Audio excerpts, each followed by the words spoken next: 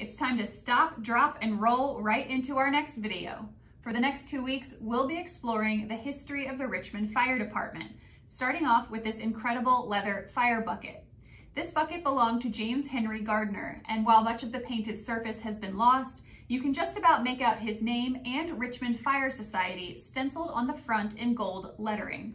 The Richmond Fire Society was one of the first organized firefighting brigades in Richmond and began in April 1816.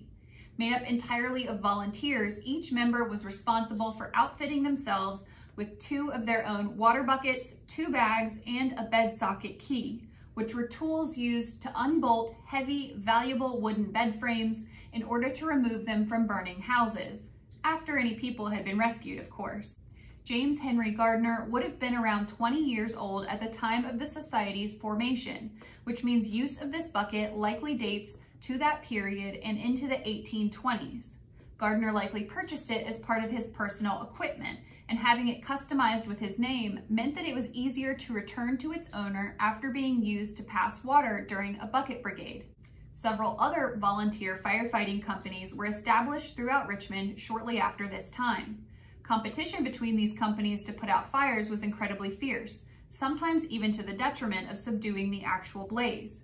But it wasn't until 1830 that the city used municipal funds to purchase firefighting equipment and make improvements to the city's water supply system. However, buckets like these continued to be frequently used in bucket brigades in order to supply water to hand-pumped fire engines and portable extinguishers with water from the canals, wells, or even the James River. Finally, on October 25, 1858, Richmond City Council passed an ordinance disbanding the volunteer fire companies and creating the paid Richmond Fire Department in its place. Soon after, in 1860, local Richmond manufacturer Ettinger and Edmonds introduced the first steam-powered fire engine, which was mounted to the back of a horse-drawn wagon and could send plumes of water 50 feet in the air. The engine wagons were then followed by a second horse-drawn wagon containing ladders and fire hoses, which were attached to the steam pump on site of the fire.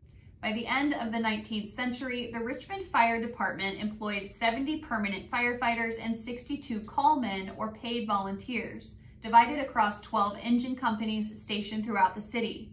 The force also included nine steam engines, one chemical engine, 12 hose wagons, and over 40 horses.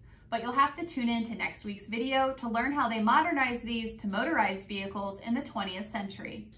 To connect to more Richmond history, come visit us at the Valentine Museum and look forward to more videos on great objects in our collection coming soon.